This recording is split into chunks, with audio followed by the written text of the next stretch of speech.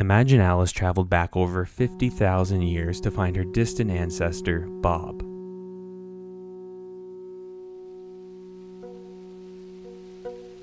Now, up until this time, human culture was relatively unsophisticated, utilizing the same primitive stone tools which went unchanged for thousands of years. But somewhere around 50,000 years ago, something interesting happened, and nobody knows for sure why. There was a sudden explosion of diverse cultural artifacts, including instruments for making music, new tools, and other forms of creative expression.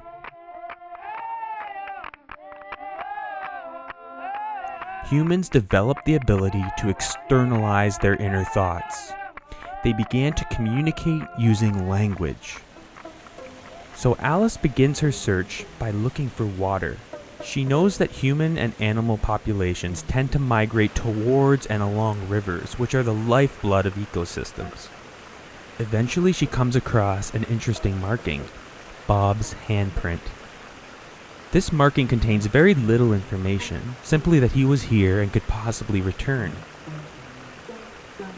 Alice knows Bob is equally intelligent, he can communicate orally, although his culture has not yet developed the ability to read or write in their native language.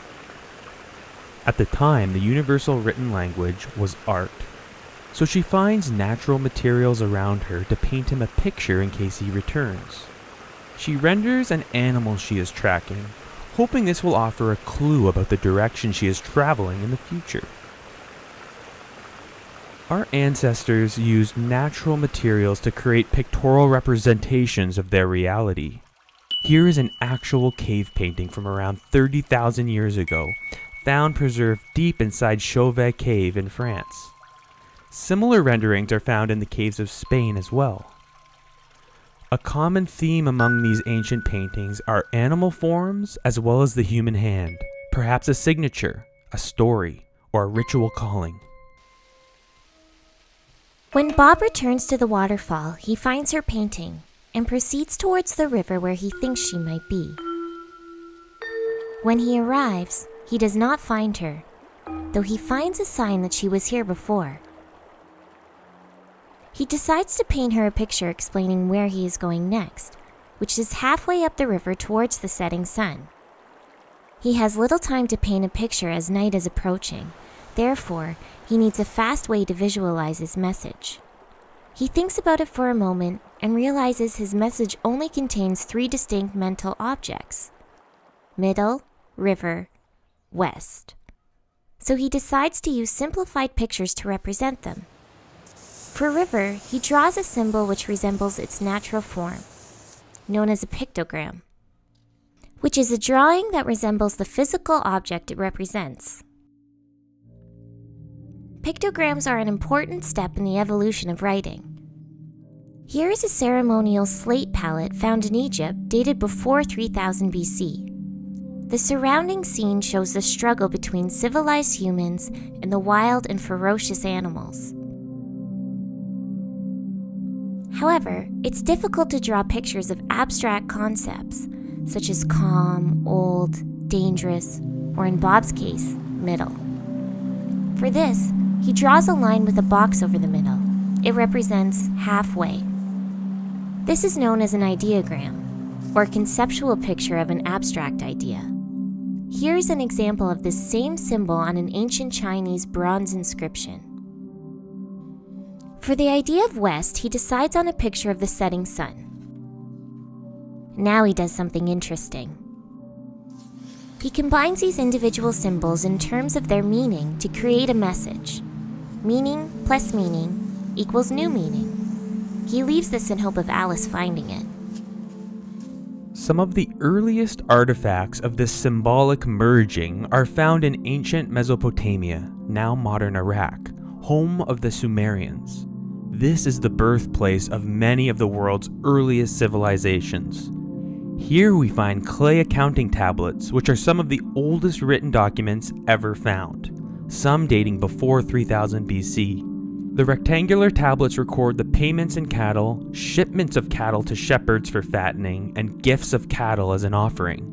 Notice that instead of drawing a picture of 10 sheep, They draw a symbol representing 10 using small notches, and another symbol representing sheep or donkey, meaning simply 10 sheep. We call this proto writing. Finally, Alice returns to the base of the river and finds Bob's message. She interprets the meaning correctly halfway west down the river. So she marches downriver towards the setting sun, and eventually they finally meet. Over time, Bob learns to speak Alice's language, allowing them to use the same oral language to communicate shared concepts and ideas. This gives them an idea the root of a more powerful written language. It starts with something very simple writing her name. She disassociates the sound from the picture. For her name, Alice. Alice. Al, Alice. She combines the mathematical symbol for all and a picture of ice. All ice. Alice. Notice her name has nothing to do with the individual symbols. Sound plus sound equals new meaning. This is known as the rebus principle.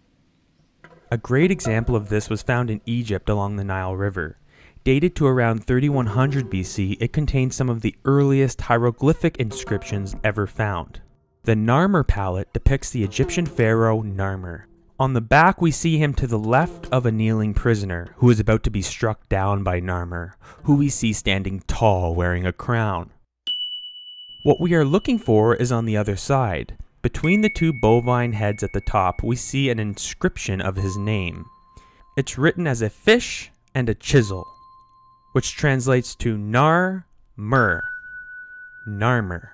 Two sounds separated from the pictures, together giving new meaning, a key development in the history of written language.